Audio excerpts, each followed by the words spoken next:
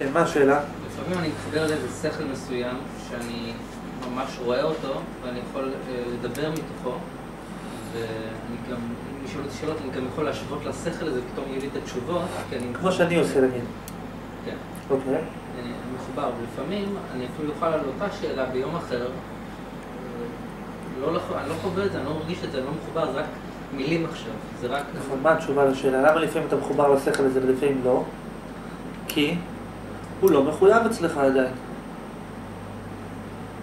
מה הוא אומר? הוא אומר כזה דבר, הוא אומר לפעמים הוא מתחבר לאיזה הבנה, הוא מדבר מתוך ההבנה, וכל מה שמדברים איתו הוא עונה מתוך ההבנה הזאת. ולפעמים הוא, כל מה שהוא מבין הופך להיות איזה משהו רחוק ממנו, וכשמישהו בא לשאול אותו שאלה הוא כזה מעורפל, רגע, מה הבנתי, איך זה עובד, לא זוכר. אסביר לך עוד תשובה. היה אחד שניסה להיות כמו סופרמן. מה הוא עשה? אתה יודע מה הוא עשה? לבש את הבגדים של סופרמן, להסתרק כמו סופרמן. עשה את כל מה שצריך להיות כמו סופרמן. אוקיי. אבל מה היה. ו- ובאמת הוא יצא לרחוב, ואנשים פחדו ממנו, חשבו שהוא סופרמן וזה, והוא עשה כל מיני דברים, הכל עשה. אבל מה היה החיסרון אחד? שהוא לא באמת היה סופרמן, הוא רק היה כמו סופרמן. בגלל שהוא היה כמו סופרמן, לכן לפעמים הוא לא הצליח. לעומת זאת היה אחד שהוא היה סופרמן. הוא בתור סופרמן התחפש בכלל למישהו אחר. אבל תמיד שהוא היה צריך להיות סופרמן, הוא יכול להיות סופרמן כי באמת הוא סופרמן. את הכוונה? יש אחד שמנסה להיות חתול, ויש אחד שהוא חתול. תמיד יהיה הבדל ביניהם. הוא ניסה להיות חתול, הוא באמת היה חתול. יש אחד שמנסה להיות אלוהים, ויש אחד שהוא אלוהים. אם אתה מנסה להיות אלוהים, לפעמים זה עובד, לפעמים זה לא עובד. אם אתה אלוהים, זה תמיד עובד. מה אתה מבין? אתה אומר שאני... בעצם אתה כאילו אומר שאני לא באמת מחובר לזה, שאני... לא. זה אומר שלפעמים הזיוף מצליח, לפעמים הוא לא מצליח. אבל אם תגיע למקורי, ברור, אבל אם תגיע למקורי פעם אחת, נגמר הסיפור. מי אמר שמה שאני אומר זה נכון? רבי נחמן. מי אמר שאם הוא אמר שזה שזה- זה נכון? אני. אז מי החליט שזה נכון? אף אחד. או שנינו, אוקיי. אז מה רבי נחמן אמר? אני אקרא לך בשני משפטים. רבי נחמן אמר באופן פשוט.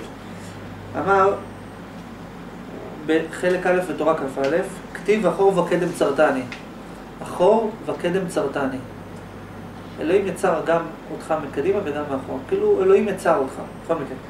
יש שכל שאדם משיג אותו על ידי הקדמות רבות. כדי להבין אותו אתה צריך הרבה ללמוד.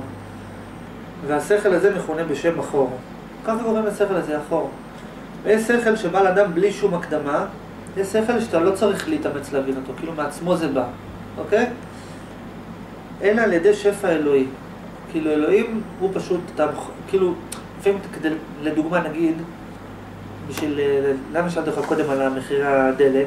כי אמרתי לך אני יכול להתחבר לשכל, אז אמרתי לך מחירי הדלק עלו. נגיד לדוגמה בדלק אתה צריך לחבר את המשאבה. יש משאבה? יש, אין, אין. אבל אם נגיד יש עליך שפע אלוהי, שכאילו, לא יודע, מהשמיים נוחת עליך דלק, אתה מבין? אז כאילו אתה לא צריך פה לחבר את המשאבה וכמה זה עולה ותכניס כרטיסי אשראי, אתה לא צריך את זה, יש לך תמיד.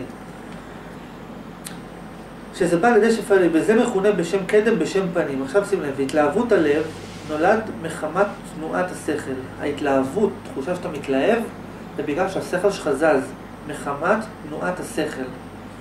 למה? כי טבע התנועות שמוליד חום. כשאתה זז, זה מוליד חום. ולפי מהירות תנועת השכל, כמה שהשכל שלך זז יותר מהר, כן מוליד חום בלב. ככה הלב שלך חם.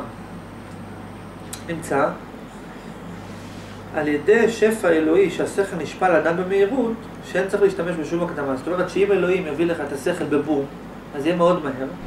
על ידי זה המהירות שלהבת הלב עולה תמיד מאליה. מה הדגש פה על הביטוי? עולה תמיד מאליה. אם אתה רוצה שזה יקרה תמיד מעצמו, אתה צריך להתחבר למקור אחר. זאת אומרת, אתה מחובר למקורות שהם לא מחויבים. מחויב אפשרי, מחויב אפשרי. זה תלוי בשכל, תלוי במצב רוח, תלוי בפה, תלוי בשם, תלוי בהבנה, תלוי בהנחת יסוד. אם האמונות שהגעת אליהן הן תלויות בדברים, אז אתה לא יכול, אז אתה לא יכול להגיד כן, ועכשיו אני זה. רגע, אבל אני מבין את זה כי... אם אני נגיד אשאל אותך, נגיד ביום טוב שלך, נגיד, מה אתה מבין? תסביר לי מה אתה מבין, אשאל אותך, מי אמר שזה נכון? תסביר לי מי אמר שזה נכון, אז אתה בבעיה, כי אתה יודע, מחר אתה תשכח מי אמר שזה נכון, מחר לא תהיה מרוכז מספיק, ואז איבדת את הפוקוס. לעומת זאת, אם אתה תדבר מתוך מקום שאתה לא צריך לשאול מי אמר שהוא נכון, שהוא לא יכול לא להיות נכון, נגיד. אז אי אפשר, אם הוא לא יכול להיות נכון, אז אני תמיד זוכר אותו, כי הוא כאילו קופץ לשם תמיד, אין פה מה... עכשיו, מה זה אומר בפרקטיקה? זה אומר, השאלה מאיזה עומק אתה מדבר.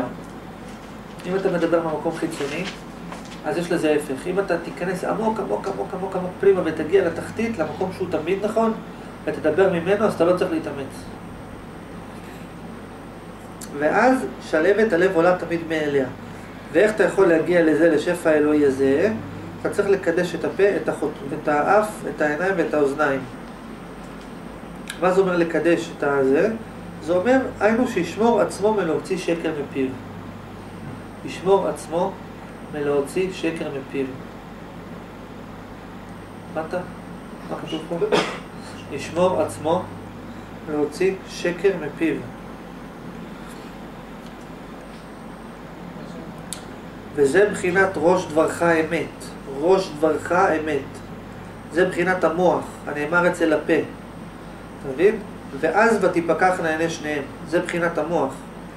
בכל מקרה, זה העניין. אם אתה לא תוציא שקר מפיך, תגיע למצב שאתה תגיע לתחתית של המערכת, ואז אתה תיתן תשובות לפי המחויב, ואז, ואז אתה תמיד תישאר באונליין. תמיד יהיה לך, לא יהיה לך אפטיים של 99%, יהיה לך אפטיים של 100%.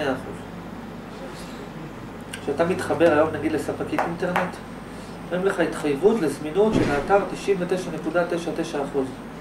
אף אחד לא מתחייב 100%. אבל אם אתה תהיה אלוהים, אז 100%.